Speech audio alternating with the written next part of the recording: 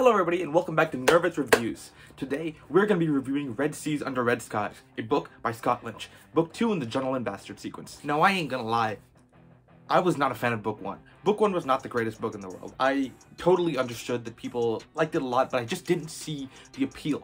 And so when I went into book two, I really wanted to like the series as much as I like Patrick Rothfuss's The Kingkiller Chronicles, because for whatever reason, these two are paired up in, a, in very often in the lists, especially in the list of uh, who's going to release the next book last, right? So it's between him, Lynch, and Martin. And because of that, I really wanted to like it because I like the other two books in the trifecta. So I really, really hope that I would like this one. And uh, since the first book didn't do any good, I went ahead into the second one. When you title a book Red Seas Under Red Skies, there's a lot to live up to. I think that that is by far one of the greatest titles I've ever seen. That, that's a really, really beautiful title. And I think that you know where it's going when you say something like that. You see a pirate story, a really brutal uh, pirate story, especially with the Gentleman Bastards. Like that is supposed to be like a really crazy, fun, interesting, rambunctious pirate story.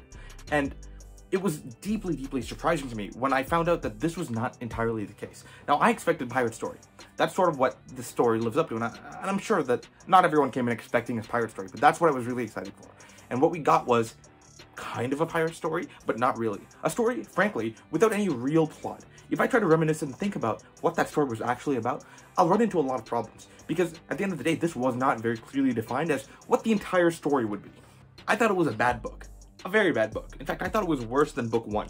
And uh, I'm going to tell you why. I see online that this is not an incredibly uh, common thing to do. Most people do kind of enjoy this story.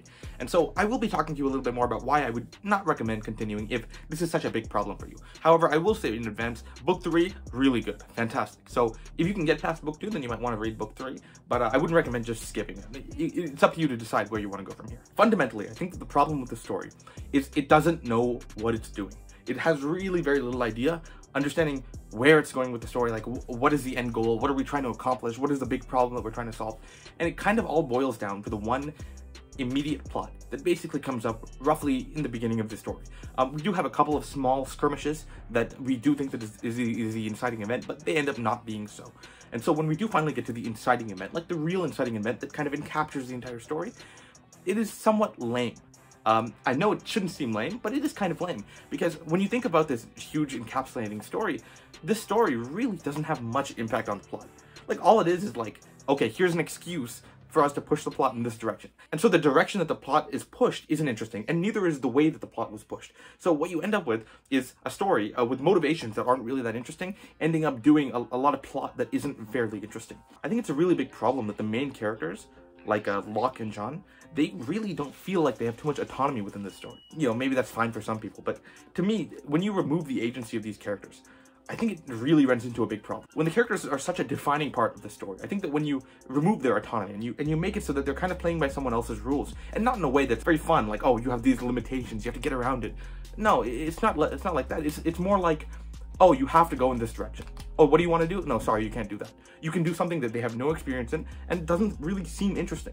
And they're kind of pushed into a world that is roughly, roughly speaking, seafaring. And in the seafaring world, we get a lot less of the seafaring that I expected. Because when we end up actually seafaring, I, I say this because they're not really related to the seafaring very much, we kind of get like a very small plot with a minimal tension and with really weird outlandish places that they need to do to go to and cause different things to happen and different people to talk to. And all of these things just seem so outlandish so unnecessary when we have such a simple plot that we should be just dealing with. And that's why i think that this book is really not not worth reading.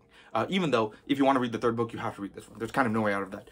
But i don't think that it's a very good book on its own. Because when you have to deal with a plot that isn't interesting because the motivation is not interesting, the way that they actually do it is not interesting, and every single plot or plot point or, or side plot or anything feels so unrelated, feels so out of the blue compared to what we're normally doing, I think that you run into huge problems. And I think that there's nothing really that could have recovered from that. But other than that, because, well, that is a major part. So don't get me wrong. Like, that's a huge part. And in my opinion, I would not recommend this book because of that.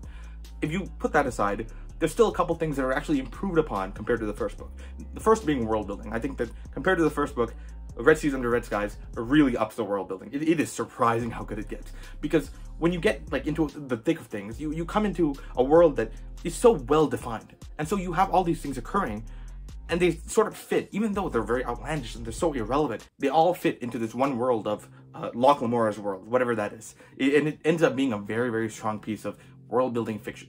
That is something that it's really good at, as well as a lot of cultural, interesting things where you explore different societies. This is really done so much better elsewhere, but credit where credit is due, and that is a very strong part of the story. If anything, I was incredibly interested by that. Every time they kind of flash back or flash forward into like different times where they're dealing with the people, doing different cons, different simple cons, that was much more interesting. than this grand con where they have very little interest and very little uh, ability to affect what's happening to them. And so putting all these things together, um, I think that you can see why I wouldn't necessarily recommend this book. It is by far much weaker than the first book, and way, way weaker than the third book, a review that will be coming to you soon. And uh, if you have already read this book and you want to go see my spoiler-filled review, you can click in the description and I'll take you right there.